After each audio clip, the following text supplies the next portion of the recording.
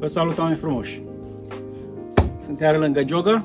Astăzi vreau să arăt, vă arăt ceva celor care nu știți încă cum schimbăm bările de acoperiș din bări longitudinale, cum le punem transversal, ca să putem să punem alte chestii pe ele. Pentru asta, de ce stau cu asta în mână? Pentru că aici, cel puțin așa am primit-o eu, în mapa asta de la Joga este un, o cheie, un Torx de nu știu de cât e, de 10 cred că, da? care e special pentru șuruburile de acolo.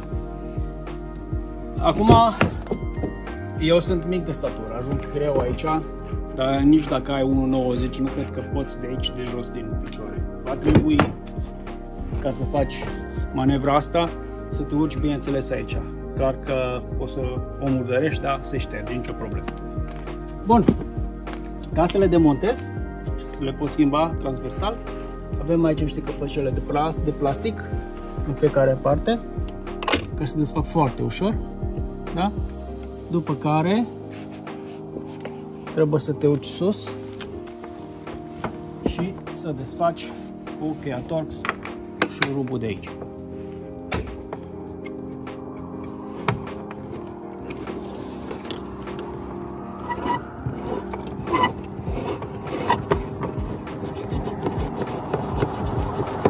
Așa.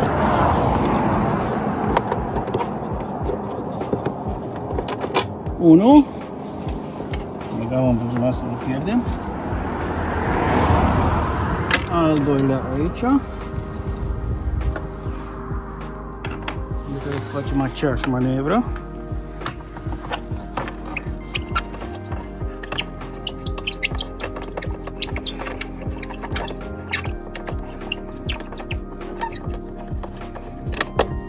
Bun, îl băgăm și pe ăsta în buzunar.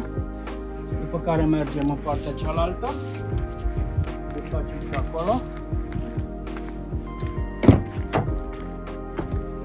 Tot așa, căpăcelul de plastic. Foarte ușor să desface.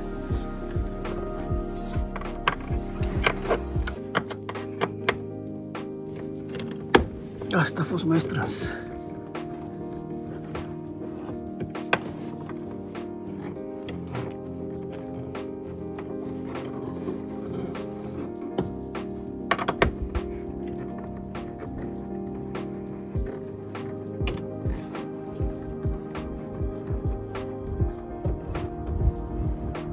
Pentru mine e chiar puțin incomod să fac lucrul ăsta, dar așa ceva logic că nu faci în fiecare zi, doar atunci când ai nevoie, că vrei să pui un portbagaj de deasupra sau pentru schiuri ceva și din coace la fel.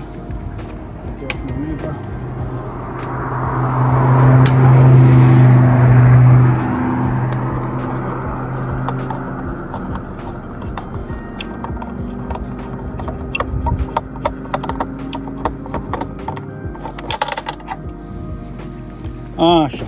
Acum le-am desfăcut. Pur și simplu le ridici în sus. Ele au aici două bolțuri de plastic, da? care vin aici în găurile astea, astfel încât să fie mai, mai stabil. Bun, o să pun asta. A, aici trebuie să avem grijă. De exemplu aici, E o chestie aerodinamică. Partea asta teșită aici, pentru că pe partea cealaltă, de exemplu, e drept. Deci, ca să o pui în față, asta trebuie să o pui așa, ca să vină vântul să dea aici pe partea asta teșită să meargă sus, să nu fie partea asta să aibă rezistență foarte mare. Da? Aspectul ăsta trebuie să, să fim atenți la el. Asta o pun așa, mă duc în partea cealaltă.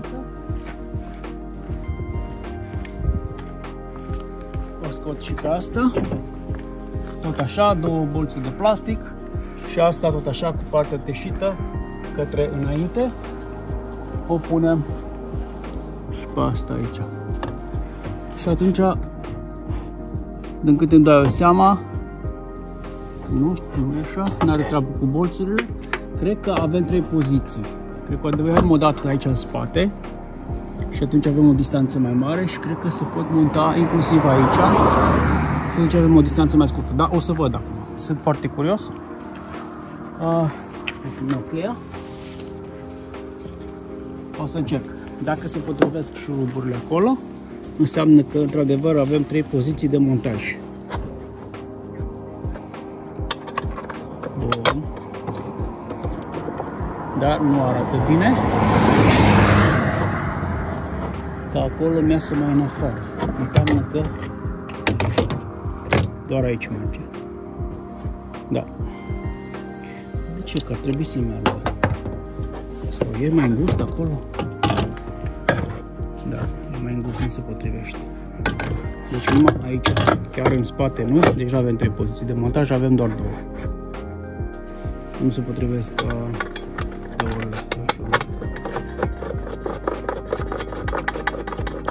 Să le punem așa, nu le strâng. O pun și pe cealaltă. Așa.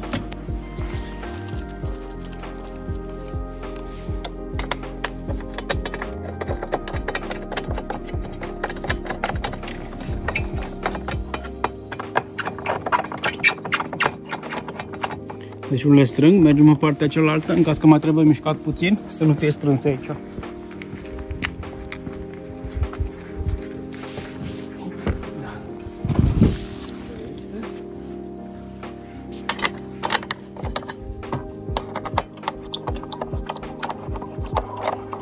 Aici pot să le strâng deja.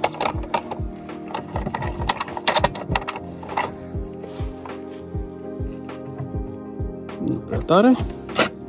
Închidem căpăcelul.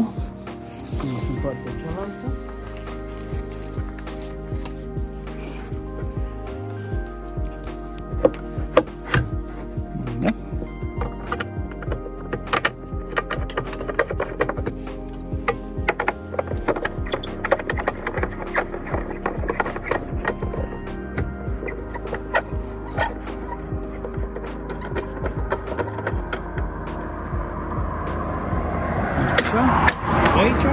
Și acum strângem și partea cealaltă.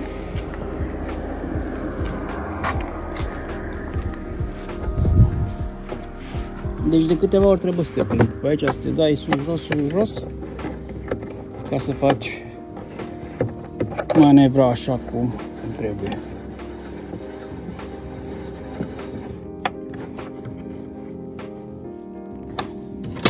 Închidem și ultimul șurub care trebuie fixat strâns